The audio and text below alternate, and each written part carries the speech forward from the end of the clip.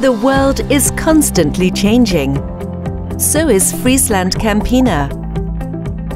What makes us Friesland Campina? Why do member farmers, consumers, or employees choose us?